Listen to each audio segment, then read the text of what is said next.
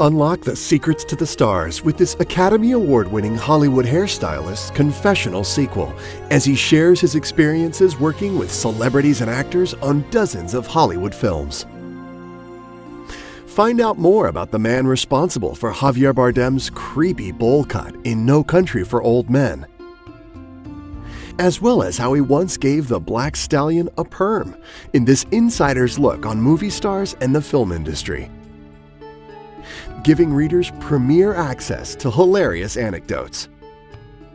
From his Oscar worthy work on Amadeus to the fierce balletic updos in Black Swan, let Paul LeBlanc's life experience empower you to pursue and achieve your dreams. Regardless of what other people say, remember, nothing is impossible.